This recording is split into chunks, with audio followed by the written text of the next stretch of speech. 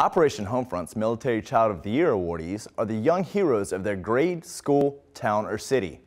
Seaman Jackson Smith tells us more about this year's ceremony.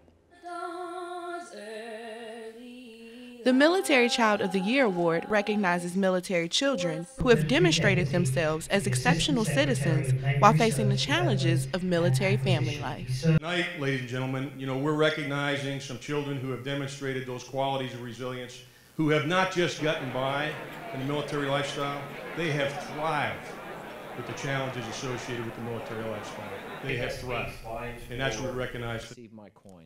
Vice Admiral David Johnson presented the 8th Annual Navy Military Child of the Year Award to Jeffrey Birds of Camp Lejeune, North Carolina, as this year's recipient. To learn more about Operation Homefront and the Military Child of the Year Award, visit the Operation Homefront website.